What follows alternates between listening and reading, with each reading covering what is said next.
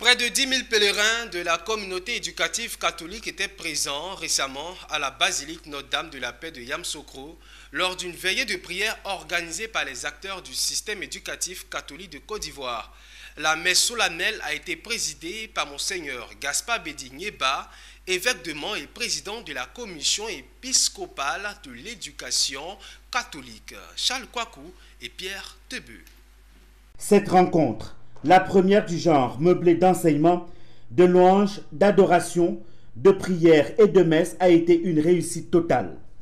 Près de 10 000 participants, dont les acteurs du système éducatif catholique de Côte d'Ivoire, une soixantaine de prêtres, une centaine de religieux et religieuses ont répondu à l'appel de la conférence des évêques catholiques de Côte d'Ivoire et ont prié pour une école ivoirienne plus rayonnante et intégrale notre école ne, soit pas, ne, devienne pas ce qu'elle n'est pas, c'est-à-dire une école commerciale, où on pense d'abord à l'argent, on doit vendre ceci, on doit... Non, non.